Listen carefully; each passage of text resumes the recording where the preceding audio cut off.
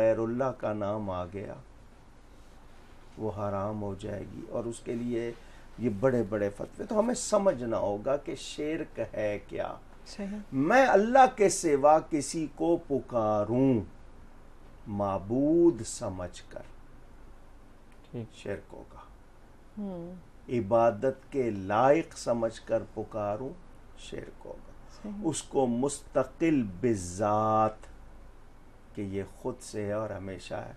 उसको पुकारूँगा शिरक होगा मुस्तान हकीकी हकीकी मददगार समझकर पुकारूँगा कि ये खुद से मदद करता है और हकीकी मददगार है। अल्लाह के सिवा किसी को पुकारूँगा शिरक होगा ठीक। अल्लाह का महबूब समझकर हम्म, अल्लाह की यानी सिफात का मजहर समझकर अल्लाह की आता का मजहर समझ के पुकारूँगा तो हरगिज नहीं होगा बेशक बेशक। एक कॉलर भी हमारे साथ जी। उनका सवाल भी ले लेते हैं। अस्सलाम वालेकुम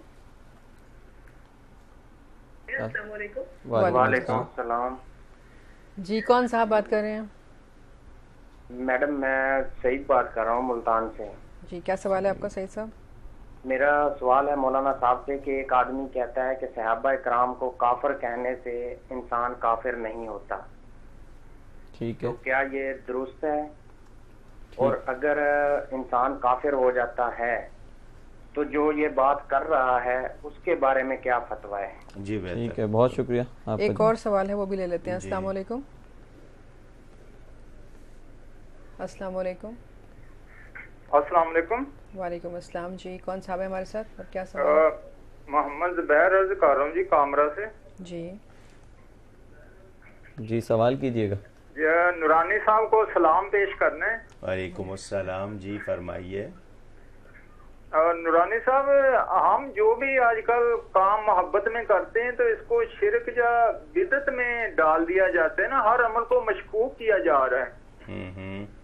तो इस- इसीलिए- थोड़ा सा मतलब इसीलिए ये। उन्वान रखा है ना कि गलत फहमियाँ दूर हो जाएँ। ध्यान से सुनिए। वो भी जो इसको डालते हैं गलत फहमी और जो समझना चाह रहे हैं दोनों के लिए आसानी। और मैं खुद से ये ऐलान कर रहा हूँ कि अगर मैं आज इस मजमून को पूरा नहीं कर सका मैं कल भी जारी रखूँगा इन ठीक है? ताकि पूरी वजाहत हो जाए। तो जी आप बयान फरमा रहे थे। जी मैं यही बता रहा हूँ कि कुरान पाक में जो है बहुत से लोगों के नाम भी आए हैं। नहीं नहीं। हम्म, सूरतों के नाम। जी जी। अब ये कहना कि जिस चीज़ पर गैरुल्लाह का नाम आ जाए हम्म हम्म। अल्लाह के सिवा किसी का नाम आ गया वो हराम। तो फिर तो बीवी किसी की जायज़ नहीं रहेगी औलाद किसी की जायज़ नहीं रहेगी क्योंकि सब पे अल्लाह के सिवा ही नाम आता है। अल्लाह की तो कोई बीवी नहीं अल्लाह की तो कोई औलाद नहीं है। तो ये गलत फहमियाँ हैं। वो जानवर जिसके ज़बा करते वक्त गैरुल्ला का नाम लिया जाए ठीक वो हराम है। क्योंकि वो काफिरों का तरीका था बिस्मिल्लाह वल उज़्ज़ा वो कहा करते थे। हम्म, हम्म, अच्छा अब ये कहा जाए कि जिस जानवर पर मसलन मैंने कह दिया कि ये मैं मीलाद शरीफ के लिए रखा है ये सैदना गौस आज़म की जब मैं न्याज करूँगा उसके लिए तो मैंने कहा ये गौस पाक की न्याज के लिए है। लोग कहते हैं कि वो भी उसी तरह हो गया। हम्म, अगर अगर। नाम आ गया है आपका तो कहते हैं गलत हो गया। तो मैंने कहा फिर कुर्बानी का जानवर कैसे बचेगा? ठीक है। वो हम्मात का है। ठीक है। ये गाय फरहाना की है। ये जनाब दुम्बा फलां का है। तो उस पर भी तो मेरा नाम या अल्लाह के सिवा नाम आया है। जी। फिर वो कहाँ बचेगा? हम्म, असल मसला जो है वो शरीयत का समझें। लफ्ज़ों में लोगों को परेशान ना करें उलझाएँ नहीं। जिसके ज़बा करते वक्त गैरुल्ला का नाम लिया गया वो जानवर आराम होगा। सही। अब लोग उसको कह देते हैं तुमने गौस पाक को पुकारा तुमने या अली कहा तुमने या रसूल कहा ये शिरक हो गया मैंने बता दिया। माबूद समझकर मुस्तान हकीकी समझ कर मुस्तकिल मुतसरफ मुस्तकिल बिजात समझकर पुकारेंगे तो गलत होगा। हम अल्लाह का प्यारा समझ कर पुकारते हैं अल्लाह की मदद का मजहर समझ के पुकारते हैं। और उस पुकार का सबूत कुरान में भी है और उसको उसका सबूत हदीस शरीफ में भी है। साहबा ने भी पुकारा उम्मत के लोग पुकारते आए हैं आज भी पुकार रहे हैं। और ये शुरू से सिलसिला है जितनी आप चाहें सबूत में आगे। इसके बाकायदा उलमा ने किताबें तैयार की हैं जिनमें बताया गया है वाजे किया गया है। तो हर बात को शिरक नहीं कहना चाहिए। क्यों? कि हदीस शरीफ में आता है कि आप किसी मुसलमान को मुशरिक या काफिर कह दें। आप किसी मुसलमान को मुशरिक या काफिर काफिर कह दें और वो मुशरिक या काफिर नहीं है तो कहने वाला उस पर ये लौट आएगा। अगर वो है अच्छा अब यहाँ ये भी मसला सुन लें किसी में कोई कुफर या शिरक की बात पाई जाएगी तो उसको बताया जाएगा कि ये है। और उसकी समझ में है नहीं है उसकी नीयत जो भी वाजे होगी उसके बाद उसकी तनकीह की जाती है छाना जाता है। फिर कहीं जाके ये कोई खेल नहीं है कि उस पर फतवा लगा दिया कुफर या शेर का। अच्छी तरह छान पटक की जाती है। बहुत खूबसूरत बात आपने फरमाई कि अगर हम यूँ ही किसी को कह देंगे तो वो हम पर पलट आएगा। ये तो हम सोचते ही नहीं है। एक कॉलर है उनका सवाल भी शामिल करते हैं। अस्सलाम वालेकुम वालेकुम सलाम। जी कौन साहब और कहाँ से बात कर रहे हैं? मैं दुबई से बात कर रहा हूँ मोहम्मद सरफराज। जी सरफराज साहब क्या सवाल है आपका? मौलाना साहब के साथ बात करनी है। जी जी करें बात करें। ये मेरा भतीजा पैदा हुआ है मोहम्मद जुहैर। ठीक है। और उसका नाम हमने रखा है मोहम्मद जुहैर। और ठीक। किस कोई आदमी वो जो वो, बोल रहे हैं भाई इसका नाम भारी है वो बीमार हो जाता है ये नाम बदली करे सितारा नहीं मिलता। ठीक। अच्छा। ठीक है आपका और कोई सवाल है? बस ठीक कॉलर चले गए। समझ गया अच्छा नाम साहब अभी आपने कुफर की भी बात की कुफर और शिरक की तो मैं चाहूँगा कि हमारे नाजीन के लिए कुफर और शिरक में भी जो फ़र्क है उसको भी वाजे कर दें। शिरक कुफर के लफ्जी माना इनकार के इनकार ठीक। शिरक के माने किसी को अल्लाह के बराबर समझना अल्लाह जैसा समझना। बिल्कुल। अल्लाह के साथ उसको किसी चीज़ में शरीक ठहराना। बराबरी तसव्वुर। और आसान लफ्ज करूँ जैसा अल्लाह के लिए मानता हूँ। बिल्कुल वैसा ही। किसी और, और के के लिए। मानो। बिल्कुल वैसा ही इस पे ज़ोर है। बिल्कुल। मसलन अल्लाह देखता है बंदा भी देखता है। तो मैं कहूँ जैसा अल्लाह देखता है बिल्कुल वैसा ही बंदा देखता है तो ये शिरक होगा। ठीक सही। फिर वही जाती और अताई की बात। अल्लाह फरमाता है हम्म। मैंने बंदे को सुनने वाला देखने वाला बनाया अल्लाह समीम बसीरा। समी और बसीर कुरान में अल्लाह के लिए लफ्ज भी है समी और बसीर बंदे के लिए भी है। अल्लाह खुद से है बंदे को समी और बसीर। अल्लाह ने बनाया। है। तो वही जाती और आताई अगर ये ना समझे तो मसला। कल जक़ात की बात हो रही थी ना? जी जी। अम्बतत मैंने कहा था ना नस्बत मजाजी ठीक। शिफा कौन देता है? अल्लाह रब्बुल इज़्ज़त। सब मानते हैं शिफा देने वाला अल्लाह। फिर क्यों कहते हो डॉक्टर साहब मुझे ठीक कर दें? हम्म बिल्कुल। मैं फलां दवा खाई उससे मैं ठीक हो गया। तो दवा ने ठीक किया या अल्लाह ने ठीक किया? अल्लाह डॉक्टर ने ठीक किया या अल्लाह ने ठीक किया? अल्लाह ने। आप तो डॉक्टर और दवा का नाम ले रहे हैं। तो क्या शिरक कर रहे हैं? बिल्कुल नहीं। आसान है बात समझने। के लिए। बिल्कुल हज़रत ईसा कुरान में फरमाते हैं वह उबरी उल अकमहा ये लफ्ज उबरी उ अगर किसी को भी अरबी आती है तो ज़रा ये मादा भी देख ले और इसकी पूरी गर्दान पढ़ ले। इसके माना देख ले। क्या है? मैं शिफा देना। देता हूँ। वह उबरी सीगा वाहिद मुतकल्लिम का मैं शिफा देता हूँ। किसको? अकमहा वल अबरसा। मादरजाद अंधे को और बरस वाले को। हज़रत ईसा का बयान कुरान में हम्म। कि वो कह रहे हैं मैं शिफा देता हूँ। अल्लाह खुद उनका बयान कुरान में फरमा रहा है। तो क्या वो शेर कर रहे हैं? बिल्कुल नहीं। लेकिन आगे फरमा दिया बेइज़्निल्लाह करता मैं हूँ मगर अल्लाह के हुक्म से। तो अल्लाह की अता से कोई कमाल ज़ाहिर हो रहा है। तो उसको कैसे शिर कहा जाएगा? हाँ जिसको ये कहे कि खुद से है तो और बात है। तो उसमें मसला आ जाएगा। मैंने कहा ना सिर्फ़ लफ्ज़ों के इतलाक से बराबरी लाजिम नहीं आती। अब हम इस पर कितनी आगे ले जाएँ मैं सिर्फ़ एक हदीस कुदसी सुनाना चाहता हूँ। फरमान है अल्लाह ताला का। कुरान में नहीं है। है अल्लाह का फरमान। कुरान में नहीं है नबी पाक सल्लल्लाहु अलैहि वसल्लम की ज़बान से मिला। इसको कहते हैं हदीस कुदसी। दुनिया में किसी का इख्तलाफ नहीं है उसमें जो सब मानते हैं। अल्लाह ताला फरमाता है मेरा बंदा नवाफिल की कसरत से मेरा कुर्ब हासिल करता रहता है। नवाफिल का मतलब रजाकाराना तौर पर जो इबादत की जाती है तो चूँकि उसको अल्लाह से मोहब्बत है फ़र्ज़ वाजिब सुन्नत ही नहीं वो नफल भी नहीं छोड़ता। तो अल्लाह से मोहब्बत की वजह से वो नवाफिल में कसरत। करता है ज़्यादा करता है तो अल्लाह के करीब होता जाता है। अल्लाह फरमाता है मैं उसको अपना महबूब बना लेता हूँ प्यारा बना लेता हूँ।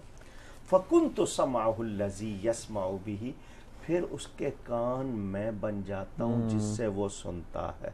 उसकी आँख मैं बन जाता हूँ जिससे देखता है। उसके हाथ मैं बन जाता हूँ जिससे पकड़ता है। उसकी ज़बान मैं हो जाता हूँ जिससे कलाम करता है। उसके पाँव मैं बन जाता हूँ जिनसे चलता है। वाला इन सालानी लओतियन्नहु फिर मेरा वो बंदा मुझसे कुछ मांगे मैं ज़रूर देता हूँ। इमाम राज़ी इसकी शरह में लिखते हैं फिर वो बंदा दूरो करीब तसरफ करता है देखता है सुनता है। तो क्यों? हाथ बंदे के होते हैं कुत खुदा की। आँख बंदे की कुव्वत खुदा की कान बंदे के कुव्वत खुदा की। अल्लाह तो अल्लाह ताला का वो एक तरह से मजहर बनता है। बेशक। उसके लिए फिर फासला कोई चीज़ नहीं है। यकीनन। और एक कॉलर भी उनका सवाल भी शामिल कर लेते हैं। अस्सलाम वालेकुम जी वालेकुम अस्सलाम। जी जी। कौन साहिबा बात कर रही हैं? जी मैं मिसबा आतिफ अनवर बात कर रही हूँ इस्लामाबाद से। जी मिसबा साहिबा क्या सवाल है आपका? अ, जी मेरा सवाल मौलाना साहब से ये है कि बाहर मुल्कों में हम सफ़र करने जाते हैं तो बहुत सारे लोगों की ज़ुबानी सुनने को ये मिलता है कि चूँकि आपको पता है वहाँ हर जगह तो हलाल खाना मुहैया नहीं होता या हलाल रेस्टोरेंट या हलाल जगह नहीं होती। तो मैंने ये प्रैक्टिस देखी है कि बहुत सारी अरबी खातन या खासकर अरब ममालिक के जो लोग हैं उनसे ये देखा और या सुना कि वो चिकन खासकर जो है कुछ को तो बीफ पे भी देखा कि वो पका हुआ किसी गैर हलाल जगह से भी चिकन लेके और उस पे पके हुए पे कलमा या अल्लाह अकबर पढ़ के खा लेते हैं। तो मेरा सवाल मौलाना साहब से ये है कि क्या ऐसा करना जायज़ है? क्या वो खाना हलाल हो सकता है? कि अगर हम उस पके हुए खाने पे बिस्मिल्लाह और अल्लाह अकबर पढ़ के खा लें?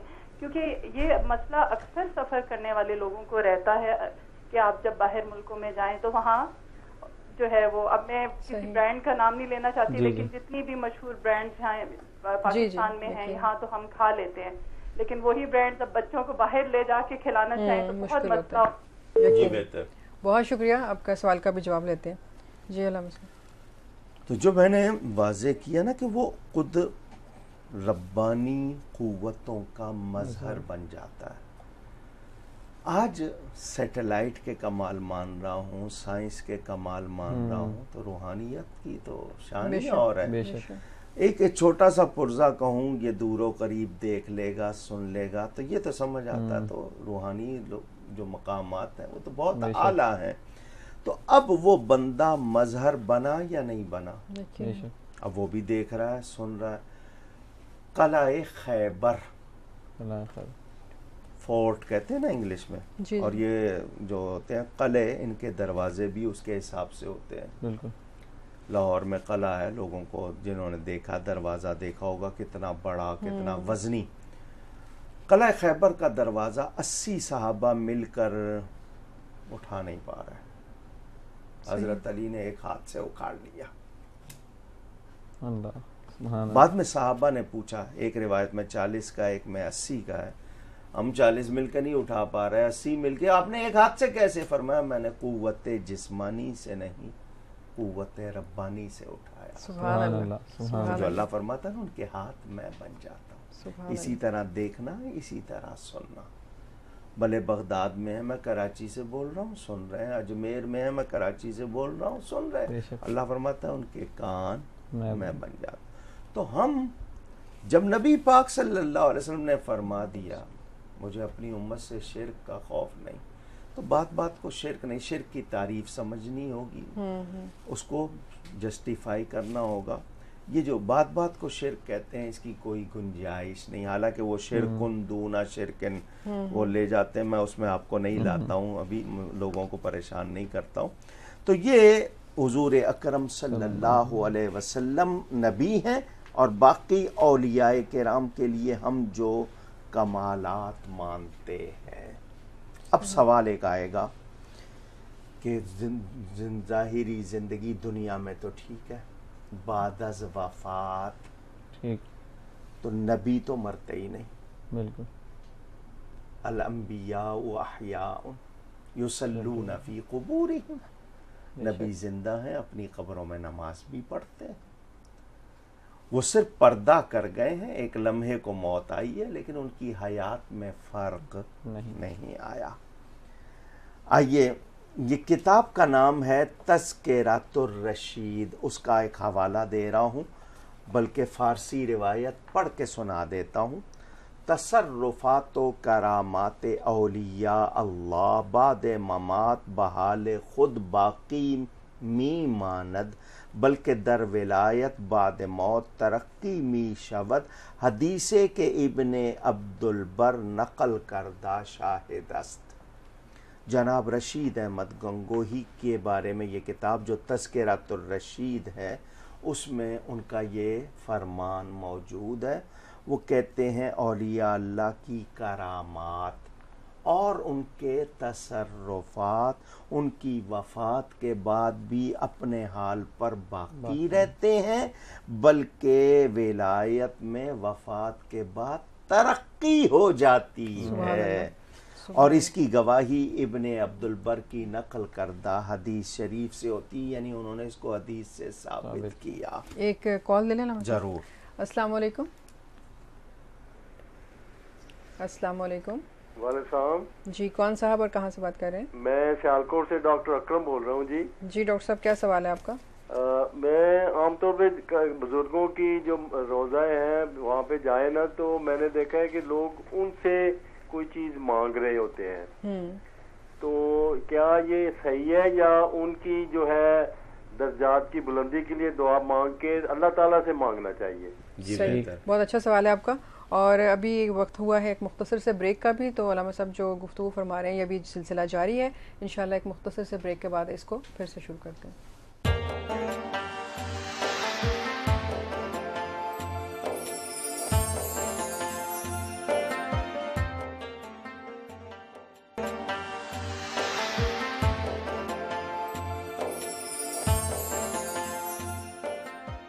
अस्सलाम वालेकुम वरहमतुल्लाहि वबरकातुहू। प्रोग्राम में खुश आमदीद और आज जो हमारा मौजू गुफ्तु है वो है शिरक और बिदत के हवाले से और अलामा साहब वजाहत फरमा रहे हैं कि शिरक और कुफर क्या है और इसमें हमें किस तरह से अपनी गुफ्तु में इन चीज़ों का ख्याल रखना चाहिए कि हर बात पे शिरक या कुफर का फतवा जारी नहीं कर देना चाहिए। सबसे पहले हमें ख़ुद क्लियर होना चाहिए कि ये सब क्या बातें हैं। तो अभी हमारे पास कुछ सवाल हैं उनके जवाब लेंगे अलामा साहब से। तो हमारा आप सवाल पूछिए क्या मुझे सिर्फ़ एक बात को अभी मजीद वाज करना है। जी जी। फिर मैं आपके सवालों के जवाब देता हूँ। ये कहना कि ज़िंदा से मदद मांग लो मुर्दा से ना मांगो। ये कहना कि ज़िंदा जो हैं वो तो ठीक है इस्तेआनत मदद करना समझ आती है। बाद अज वफ़ात का क्या मतलब है। मुर्दा तो ख़ुद काबिल रहम होता है। मैं कहूँगा कि नमाज़ें पचास फ़र्ज़ हुई थी। पैंतालीस मुआफ़ हुई हैं वफ़ात पाए हुए नबी की मदद से। हम्म, हज़रत मूसा जिनकी वफ़ात हो चुकी थी हुजूर अलैहि वसल्लम से तकरीबन 2000 साल पहले उन्होंने छठे आसमान पर मदद की या नहीं की? अगर हजूर सल्लल्लाहु अलैहि वसल्लम पैंतालीस वो भी माफ़ ना होती साथ ले आते फिर क्या करते आप? हम्म, यानी कुछ समझें चीज़ को। तो अल्लाह वाले मरते नहीं हैं एक मकान से दूसरे मकान में जाते हैं। आयात अम्बिया हजूर ने खुद फरमाया मैंने मेराज के सफ़र में जब गया हूँ मूसा अलैहिस्सलाम को कब्र में खड़े होकर नमाज़ पढ़ते देखा। सही। ठीक। तो अल्लाह के नबी ज़िंदा है। हाफिज़ कुरान के लिए अलमुसन्नफ़ इमाम अब्दुल रज़ाक में हदीस है कि जो हाफिज़ कुरान मोमिन और सही अकीदे वाला जब दफन कर दिया जाता है अल्लाह मट्टी को फरमाता है इसको नहीं खाना। तो ज़मीन खुद कहती है या अल्लाह इसके सीने में तेरा कुरान है मैं इसको कैसे खाऊँगी? हम्म, तो जिसको सिर्फ़ कुरान याद हो जाए जब उसकी ये शान तो जिस पर कुरान नाजिल हुआ। अल्लाह तो लोग जो है अपने जहन के ऊपर छाए हुए पर्दे हटाएँ। धुंध पर्दों पे या चेहरों पे या दिमागों पे आई हुई है। अम्बिया वालिया की शान पर नहीं आई हुई है। बेशक। तो हमें अपने आप को दुरुस्त करना है और ये याद रखना है कि अल्लाह वाले बाद अज वफ़ात अब उसके लिए मैं बाद अज वफ़ात की मिसाल मेरी किताब सफ़ेद से आप पढ़ लें। मज़ारात व तबर्रुकात मेरी दोनों किताबों में मैंने इतने हवाले दिए हैं। और फिर आज भी एक तो है ना कोई आदमी गुमान करे कि नहीं होगी कभी की बात आज भी बिलाशुबा वो बातें साबित हैं कन्फर्म कंफर्म है। मदद करना हुजूर सल्लल्लाहु अलैहि वसल्लम ने साहिब कसीदा बुरदा इमाम शरफुद्दीन बोसीरी हजूर हुजूर के 500 साल के बाद हम्म। ख्वाब में चादर भी अता की हाथ भी फेरा। 900 साल हो गए पूरी उम्मत का वजीफा है वो। बेशक। तो समझना है गलत फहमियों में या गलत बातें करके लोगों को उलझाना नहीं। जो चीज़ शिरक नहीं है उसको शिरक नहीं कहा जाएगा। सही अब इश्क को भी शिरक कह दें हम्म, तो फिर तो बात खराब हो जाएगी। बिल्कुल। और बात बात पर काफिर कह देना एक दूसरे को। ये भी बहुत ज़्यादा है इंतहा है। अल्लाह हम सबको हिदायत अता फरमाए। जी अब आपके सवालों के जवाब ये इब्तदा है क्योंकि ये मौजू बहुत तवील है। अभी शिरक बिदत पे तो आया ही नहीं है। हम्म, तो और ज़रूरत पड़ेगी तो हम एक दो दिन एक दिन दो दिन तीन दिन इसको ले लें ताकि लोगों के जहन साफ़ हो जाए। जी। अच्छा ये औरंगज़ेब साहब का सवाल था बलूचिस्तान से कि मिलाद को शिरक कह रहे हैं और काफ़ी लोग जो है मिलाद मनाने को शिरक कहते हैं तो उनके हवाले से वो वजाहत चाह रहे थे। लफ्ज़ मीलाद असल में हमने अरबी नहीं सीखी ना। बेशक। अरबी सीख लें तो मसला समझ आ जाए। इंग्लिश पे तवज्जो दूसरी ज़बानों में थोड़ी सी अरबी भी सीख लेते मीलाद के माने पैदाइश के हैं। बिल्कुल। जन्म। आप पाकिस्तान में इंडिया में दुनिया में कहीं पैदा होते हैं तो आपको बर्थ पे दिया जाता है बर्थ सर्टिफिकेट। अरब मुल्क में जाएँगे तो उसी बर्थ सर्टिफिकेट का नाम है शहादा मीलाद। हम्म, बर्थ माना हुए ना पैदाइश का वक्त पैदाइश का दिन। तो मीलाद तो मनाया ही मखलूक का जाता है। खालिक का तो मीलाद नहीं होता वो तो लम यलिद। वलम वलम यूलद। वो किसी की औलाद नहीं उसकी कोई औलाद नहीं उसके साथ पैदा होने का तस्वुर नहीं है। तो मीलाद मनाना शिरक नहीं है शिरक को काटना काटना। है। बिल्कुल ठीक। कि हम नबी का मीलाद मनाकर यही बताते हैं कि हम उन्हें मखलूक मानते हैं। अगर मखलूक ना मानते तो मीलाद ना मनाते। ठीक है ना? तो उनका एक्चुअली कहना ये था माजरत में आपकी बात कट रही है कि सहाबा कराम ये नहीं करते थे हम क्यों करते हैं? अच्छा अब ये जो बात आएगी ना अभी मैं कर रहा हूँ शिरक की बात इस सवाल को आप याद रखें। जी जी बिल्कुल। जब हम बेदत पे जाएँगे ना फिर मैं आपके साथ इस मौजू पे लेकिन उनका ये कहना कि साहबा कराम ने नहीं मनाया ये कहाँ से साबित है? हम्म। एक नंबर दो ये कि क्या ये कानून है? ध्यान से सुन लें मेरा ये जुमला। क्या ये कानून है कि जो काम साहबी ने किया है वही करना है? जो साहबी ने काम नहीं किया वो नहीं किया जा सकता। क्या ये कानून है? बिल्कुल। वरना आज दुनिया में मैं दस हज़ार कामों की लिस्ट बना दूँगा जो साहबा ने नहीं किया और हम दीन समझ कर नेकी समझ के कर रहे हैं। हम्म। फिर उस पर क्या होगा? तो ये तो कोई कानून नहीं है कि जो साहबा ने नहीं किया इसलिए नहीं किया जा सकता। साहबा ने इस तरह के मदरसे नहीं बनाए थे।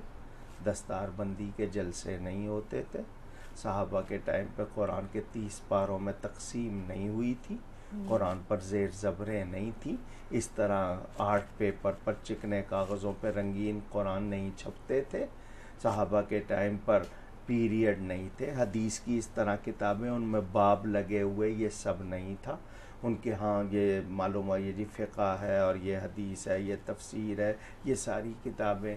और फिर ये कि जी मनी आर्डर इस तरह नहीं आते थे चंदे इस तरह नहीं होते थे हज हम्म। के सिवा कोई इज्तम नहीं होता था।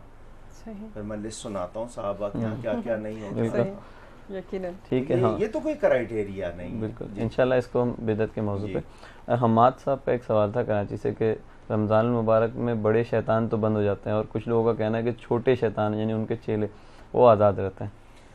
जी सरकश शयातीन जो है वो कैद किए जाते हैं। अब शयातीन अल जिन्न वल इंस इंसानों में भी ठीक। और जिन्नों हम्म। में भी। तो वो लोग जितने लोग हैं जिन्होंने अपने आप को शैतान का चेला बना लिया है वो मुराद वो आज़ाद हम्म। होते हैं। वरना मेरा अपना नफ्स शैतान का कितना आदि हो चुका है। बिल्कुल। मुझे इसको चेक करने का मौका मिल गया है क्योंकि शैतान बंद है मैं चेक करूँ कि उसके कहने पे कर रहा हूँ या इसकी वजह से कर रहा हूँ। तो इसको मैं शैतान की आदत से दूर करना सीख भी लेता हूँ बचाना भी सीख लेता हूँ। तो सरकश शयातीन कैद किए जाते हैं बाकी चेलों से मुराद हम लोग खुद जो हरकतें कर हम्म। रहे हैं और फिर ये कितने आलात हैं और कितनी चीज़ें नाच गाना बंद नहीं है। लॉटरी चल रही है तरह तरह की हरकतें चल रही हैं। मैं तो हैरान हूँ कितने प्रोग्राम हैं जिनमें यानी रमदान के प्रोग्राम का नाम लेके और ना नचाया जा रहा है और इनाम दिया जा रहा है। अल्लाह गीत गाए जा रहे हैं क्या कुछ हो रहा है? तो सोचना चाहिए उनको गौर करना चाहिए। तो ये याद रहे कि शयातीन जो हद से बढ़ते हैं शतनुन से बना है ना तजावुज़ करना।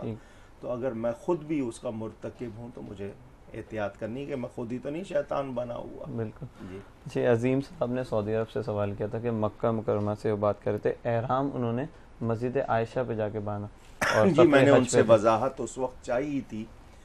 तो वो अगर जद्दा में रहते हैं मुलाजमत करते हैं और वहाँ से मक्का मुकर्रमा वो चले गए। ठीक।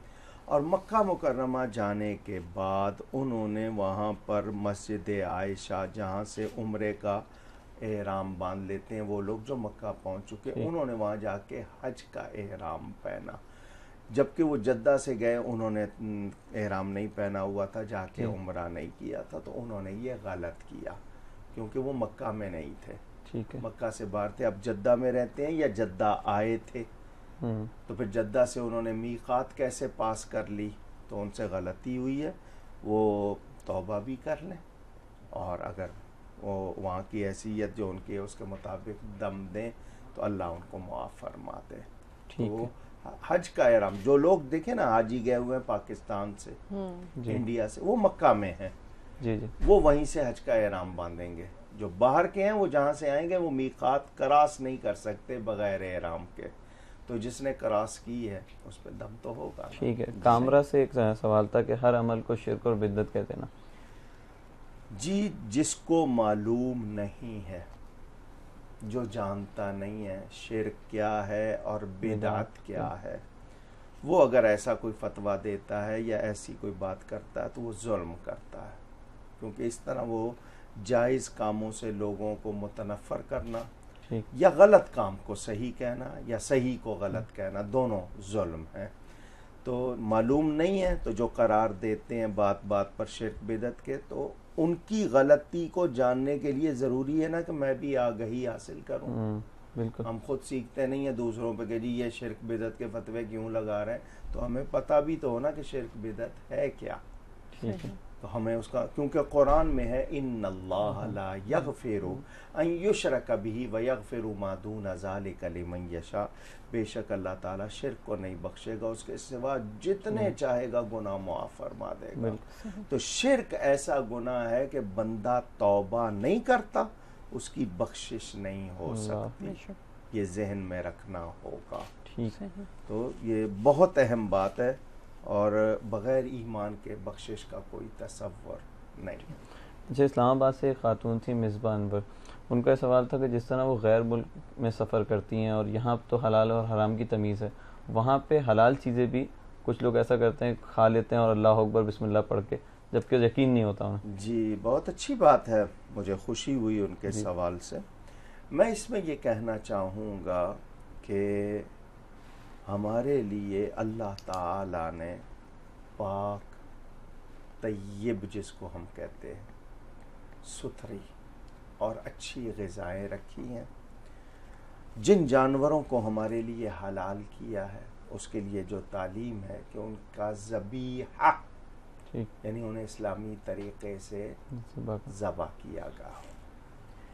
एक लफ्ज़ कोशर है कॉमन है। हम कोशर को नहीं। हमें तसल्ली होनी चाहिए कि इस्लामी तरीके से ज़बा हुआ है या नहीं हुआ।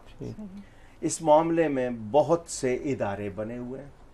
मैंने ऑस्ट्रेलिया में इसके अलावा दूसरे मुल्कों में अमेरिका में जहाँ तक अपने तौर पर कुछ जगहों पे गया उन लोगों से मिला। मैंने अपने सफ़रनामों में तफसील भी छापी है। मसलन डेढ़ सौ चिकन एक पैनल पे लगे हुए हैं। हर एक के लिए अलग छोरी है। एक मरतबा बिस्मिल्लाह अल्लाह अकबर कह के वो बटन दबा देता है। वो पहले चाकू का हो गया। उसके बाद जितने चाकू हैं वो अलग। है। एक ही चाकू नहीं है सबके लिए। अलग अलग हैं। एक मिनट में डेढ़ सौ कटना है। वो कहते हैं कौन दुनिया का आदमी है जो एक मिनट में डेढ़ सौ मरतबा बिस्मिल्लाह अल्लाह अकबर पड़ेगा कोई भी नहीं है। तो उन्होंने ये किया हुआ और कट रहे मैंने कहा मैं इसको जायज़ नहीं कह सकता। हाँ एक छुरी होती तो मैं कहता।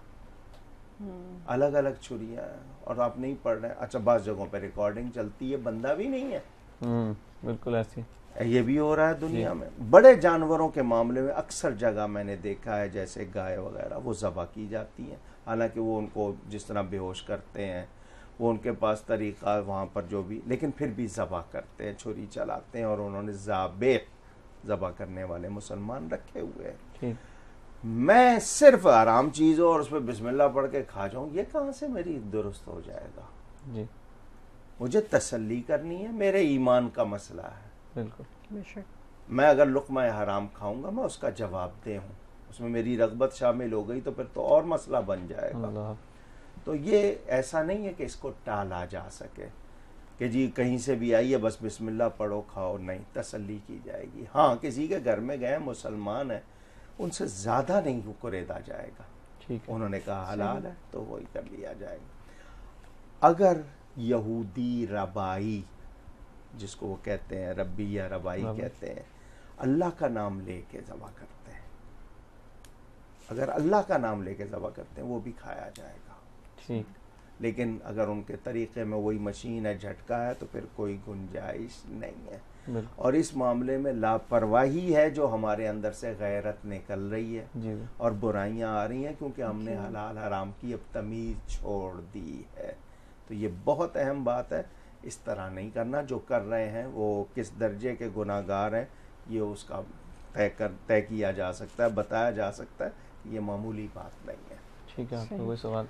ये मुकम्मल हो गए? जी, जी मेरे पास एक सवाल है मज़ारात के हवाले से। सियालकोट से एक डॉक्टर साहब ने पूछा था कि मज़ारात पे लोग जाते हैं और जो अहले मज़ार हैं उन्हीं से दुआएँ करना शुरू कर देते हैं। मैं पहले भी बता चुका हूँ हम्म, कि हम ज़ाती तौर पर एक दूसरे से भी मदद मांगते हैं। हम एक दूसरे से भी कहते हैं। वो जो अल्लाह वाले हैं कब्र में उनकी इज़्ज़त उनकी अल्लाह के बारगाह में मकबूलियत इतनी है कि हमारे पास तीन तरीक़े हैं मज़ार पर जाकर दुआ करने के। इस हवाले से जितने लोग सुन रहे हैं, मेरी बात ध्यान से सुन लें। मज़ारों पर जाना, ये समझ कर कि वो अल्लाह की रहमत के मकाम हैं। वहाँ दुआ कबूल होगी, वहाँ जाके अल्लाह से दुआ करना एक तरीक़ा। और साहिब मज़ार का वसीला पेश करना। या अल्लाह, ये तेरे मुकर्रब बंदे हैं, ये जगह मुबारक है मैं तेरी बारगाह में इल्तिजा कर रहा हूँ। ठीक है? एक तरीक़ा उसको मुबारक जगह समझ कर जाना। दुआ की कबूलियत का मकाम और दूसरा, साहिब मज़ार, अल्लाह तेरे प्यारे हैं। इनका वसीला तेरी बारगाह में पेश करता हूँ, इनके सदक़े। ये भी हो गया।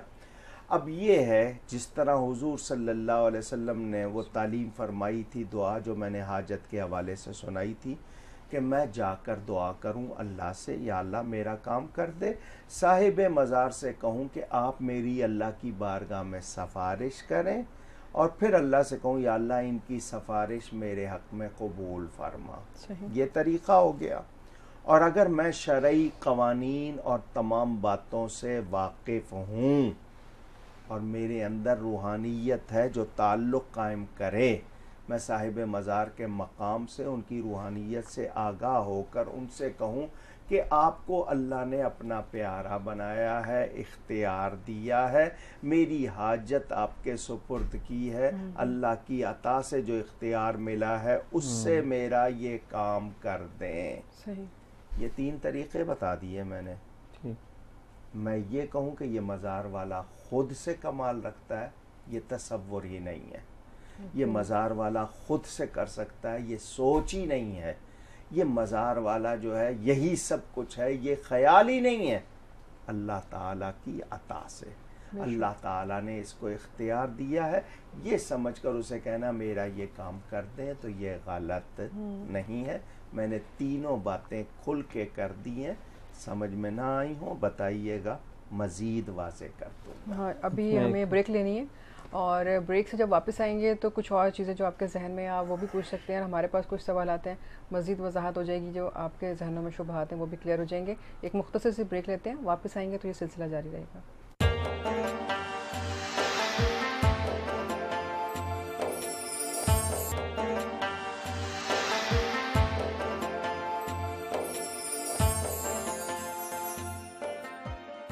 अल्लाम वरहमतुल्लाहि वबरकातुहू प्रोग्राम में खुश आमदीद और आज जिस मौजू पर गुफ्तु हो रही है वो है शिरक के बारे में और आपको अलामा साहब बता रहे हैं कि किस तरह से हम इस लफ्ज़ की वजाहत अपनी ज़िंदगियों में कर सकते हैं लेकिन हम बहुत सारी गलत अल्फाज इस्तेमाल करके गुनागार बन रहे होते हैं तो हमने हर जगह इस लफ्ज़ को इस्तेमाल नहीं करना है। इस सेगमेंट में हमें ज्वाइन किया है दो मेहमानों ने जिनमें पहले मेहमान हैं हमारे मोहम्मद फ़रहान कादिर साहब। वालेकुम सना खान रसूल हैं और हमारी दूसरी मेहमान हैं मिश्का अस्सलाम वालेकुम कैसी हैं आप? ठीक है? आज आपकी बिस्मिल्लाह है है ना? आ, तो हम चाहेंगे फरहान साहब पहले आपसे हदिया नात आप पेश कीजिए बारगाह रसालत में आप सल्लल्लाहु अलैहि वसल्लम। आइए मिलकर हुजूर की बारगाह में दूध और सलाम पेश करते हैं। सलातो वस्सलाम अलैका या रसूल अल्लाह रसूल अल्लाह वसल्लम अलैका या हबीब अल्लाह हुदू देता ईरे सिदरा हुजूर जानते हैं दू देता ईरे सिदरा हुजूर जानते हैं। कहाँ है शे मोल